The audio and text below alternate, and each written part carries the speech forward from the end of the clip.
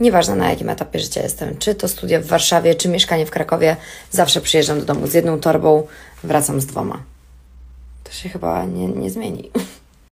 Przy okazji serdecznie pozdrawiam osoby, które kojarzą ten widok z moich początków w internecie. Myślę, że ten widok jest niektórym bardzo dobrze znany.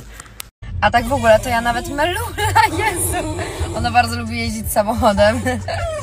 tak w ogóle to wyglądam bardzo tematycznie do dnia dzisiejszego, bo dzisiaj jest koniec roku szkolnego, więc życzę Wam, kochani, miłych wakacji, bezpiecznych i żebyście korzystali z nich na 100%. Miłych wakacji Wam życzę.